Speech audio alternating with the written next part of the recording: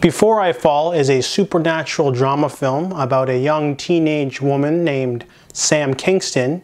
It's uh, Cupid's Day at her high school, and uh, she's forced to endure the same day over and over again after some uh, fateful events throughout the day. Uh, she's supposed to lose her virginity to her year-long boyfriend. She is uh, there's a fight with her friend and an unpopular girl, and then they uh, get into a vicious car accident at the end of the day. But every time Sam tries to do something different, the uh, day repeats itself over and over.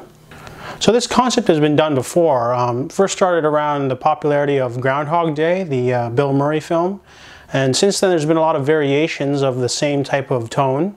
There's uh, Live, Die, Repeat or Edge of Tomorrow and Source Code, sci-fi versions. There's an upcoming uh, version called Happy Death Day. It's a slasher version.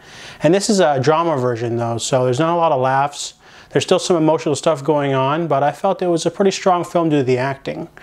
Um, the movie does get a little bit kind of um, weird at the end. I mean, in, in the terms of it doesn't have a good resolution. It probably follows the book to the letter, so that's probably why. I give Before I Fall a 6 out of 10.